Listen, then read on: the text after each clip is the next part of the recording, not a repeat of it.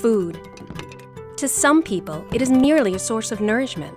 To many others, foods and eating are the basis of a long and healthy life. Nowadays, many people eat too much. Overnutrition has become a huge public health problem that affects millions of people worldwide. At the same time, numerous other people throughout the world suffer from food or nutrient shortages and are coping with undernutrition.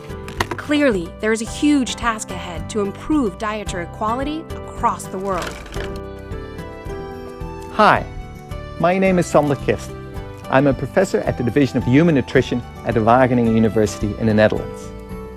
I would like to tell you about a new course that edX is offering.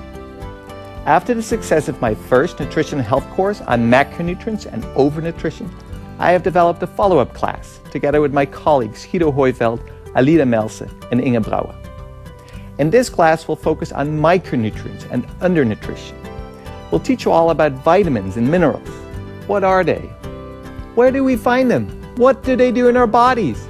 And what's their impact on our health? Do we really need all those vitamin and mineral supplements? During this course, we'll also focus on global hunger and malnutrition. We'll address the impact of malnutrition on the global disease burden. We'll look at causes of malnutrition and at strategies to correct it.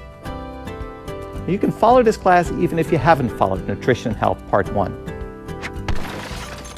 Although a bit of knowledge from our first MOOC would be beneficial, it certainly isn't necessary.